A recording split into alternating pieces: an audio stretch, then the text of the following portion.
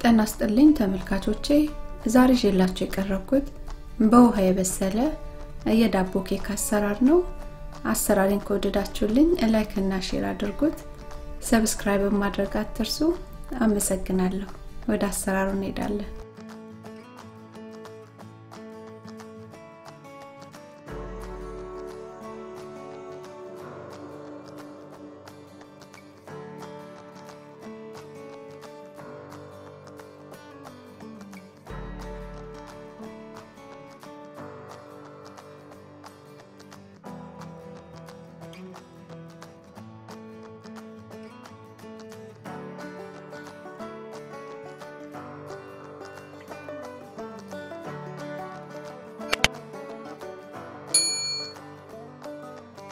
የዳቦ ኬኩን ለመስራት የተጠቀምኩት አንድ ብርቱካን፣ ሁለት እንቁላል፣ 60 ሚሊ ሊትር ወይም አንድ አራተኛ ኩባያ ዘይት፣ 512 ግራም ዱቄት፣ ሁለት የሾርባ ማንኪያ ስኳር፣ አንድ የሻይ ማንኪያ ጨው፣ አንድ የሾርባ ማንኪያ እርሾ፣ 120 ሚሊ ሊትር ወይም ግማሽ ኩባያ ለብ ያለ ውሃና አንድ ኩባያ እየተቀላቀለ ደረቅ ዘቢብ፣ ክራምበሪ እና የዱባ ፍሬ ናቸው። ብርቱካኑን አነስ አነስ አድርጌ ቆራርጬ አዘጋጃቸዋለሁ። የምጠቀመው ብርቱካን ምንም አይነት ፍሬ የለውም። ፍሬ ካለው ማውጣት አለብን ፍሬውን።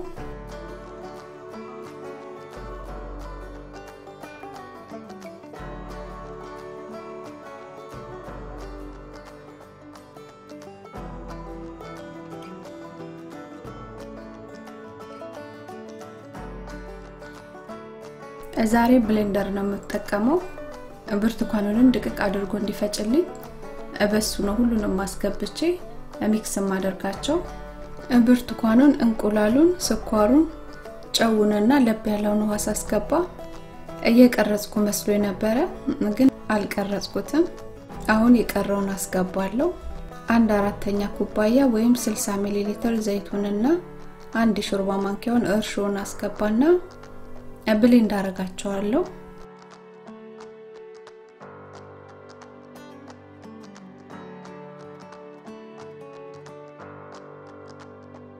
የብርቱካኑ የውስጡና ልጣጩ ድቅቅ እስኪልልን ድረስ እንፈጨዋለን።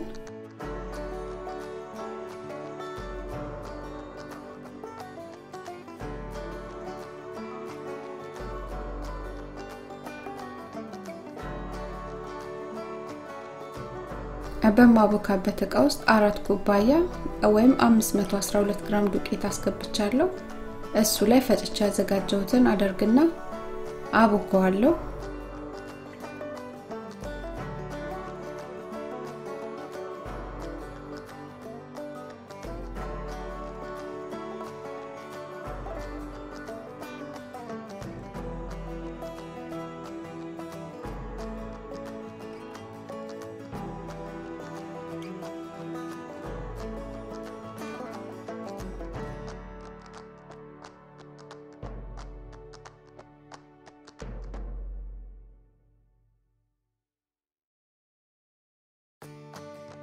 ሊጡን በእጃችን ቢሆን እሽት አድርገን ካቦካ ነው በኋላ ኩፍ እንዲልልን በንጹህ ፎጣ ወይም በላስቲክ ሸፍነን ሞቅ ያለ ቦታ ላይ እናስቀምጠዋለን ለአንድ ሰዓት ያህል።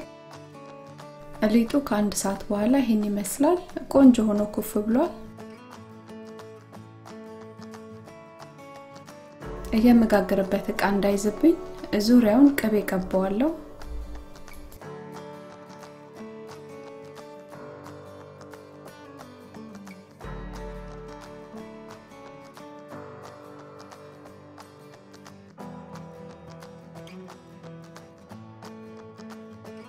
ሊጡን በጠረጴዛ ላይ አደርግና ዳምጬ አስተካክለዋለሁ።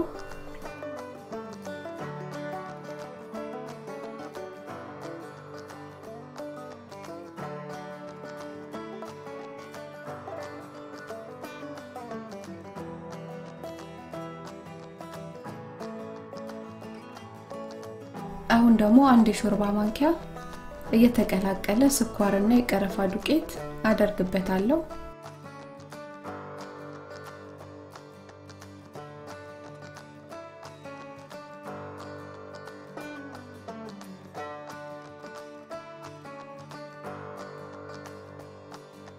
አሁን ደግሞ የተቀላቀለውን ዘቢቡን፣ ክራምበሪውንና የዱባ ፍሬውን አደርጋለሁ።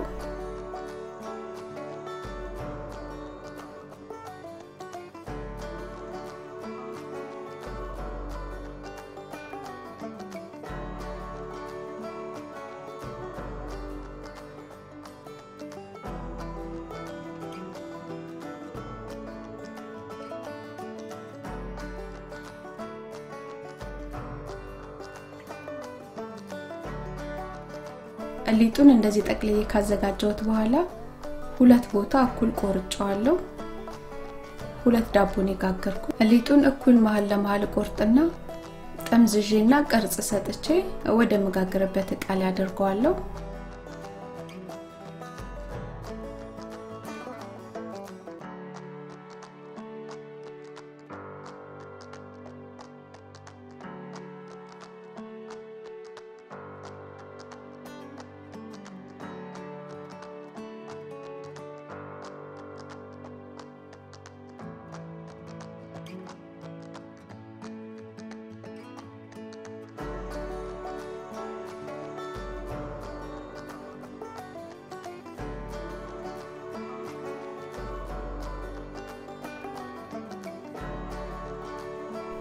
የምጋገርበት እቃ መሀል ላይ ክፍተት ስላለው በፎይል ሸፍኘዋለሁ።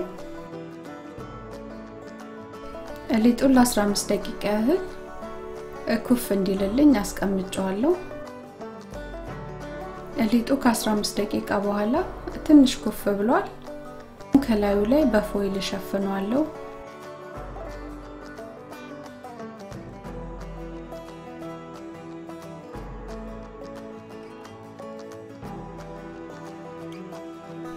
በድስት ውስጥ ስምንት ኩባያ ውሃ አለኝ። ውሃው ላይ ለኬኩ ማስቀመጫ የሚሆነውን ብረቱን አደርጋለሁ። ከዛም የኬኩን ሊጥ አስቀምጨዋለሁ።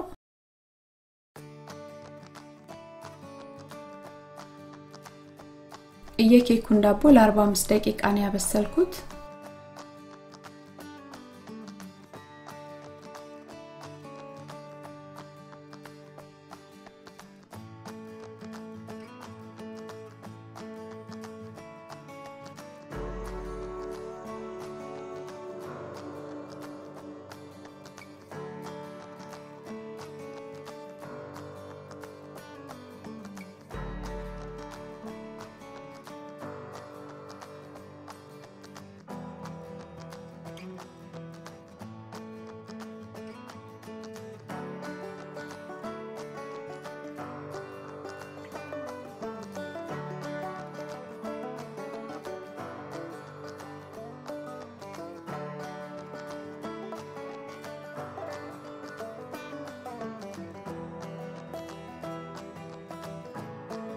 በ45 ደቂቃ ውስጥ የኬኩ ዳቦ ቆንጆ ሆኖ በስሏል።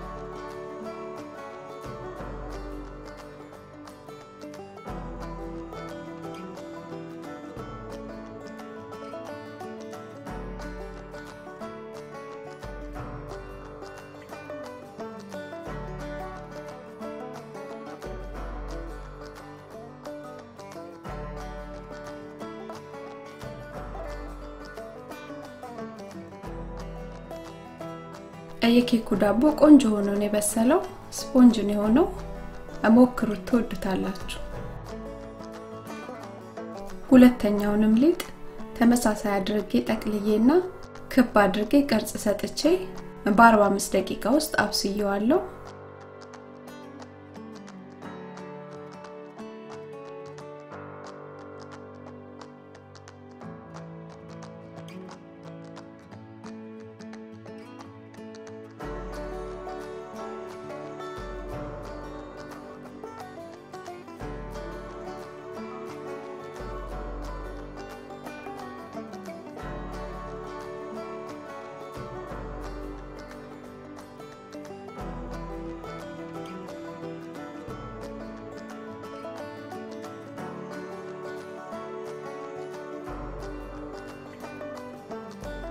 ዳቦ ከ45 ደቂቃ በኋላ ይህን ይመስላል። ቆንጆ ሆኖ በስሏል።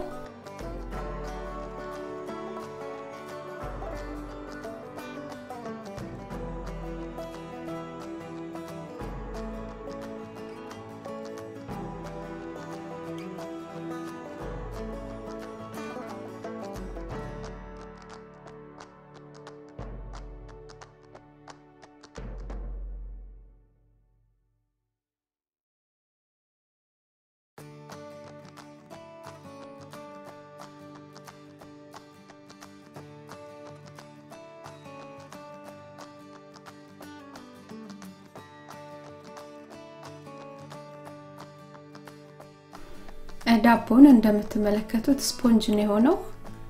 ውስጡም ቆንጆ ሆኖ ነው የበሰለው። ሞክሩት፣ ትወዱታላችሁ።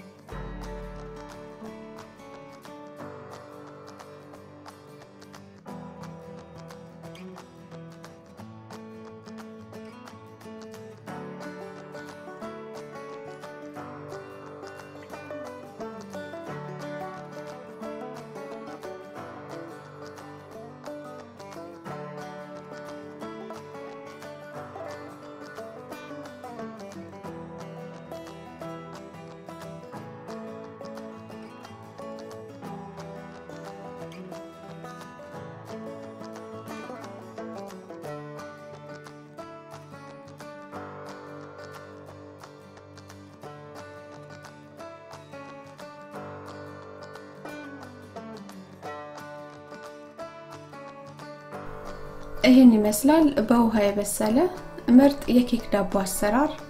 እንደወደዳችሁት እርግጠኛ ነኝ። አስተያየት፣ ጥያቄ ካላችሁ እቀበላለሁ። አመሰግናለሁ። ደህና ሁኑ።